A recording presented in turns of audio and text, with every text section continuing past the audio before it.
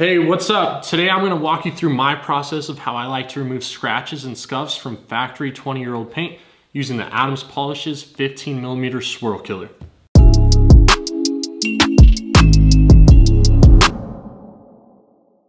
So we're gonna be completing this process on a 2002 Subaru Impreza WRX and everything you see laid out in front of me right now was bought in a kit that Adams Polishes supplies.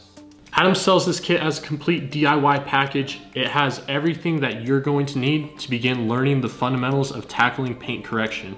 So this kit is gonna come with a 15 millimeter swirl killer dual action polisher, three cutting pads, your compound and your polish, a brush, and an LED flashlight so you can see the progress that you're making on your car's paint as you go.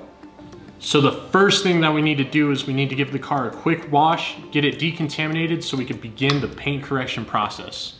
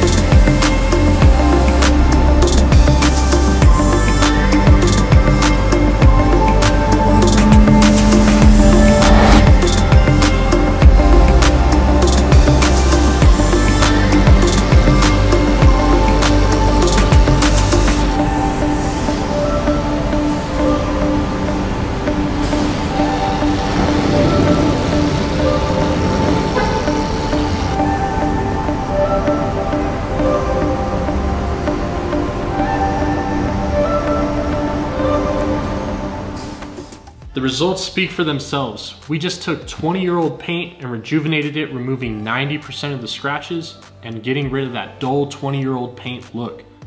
I highly recommend this kit because it has everything you need to get results like this. It's super user friendly, especially if you're a beginner just getting started on the paint correction process. All of the tools that we use are gonna be linked in the description below. If you guys dig the video, please be sure to leave a like and subscribe because I'm coming back at you guys every single week with content regarding my build or tips that are gonna help you out with your build.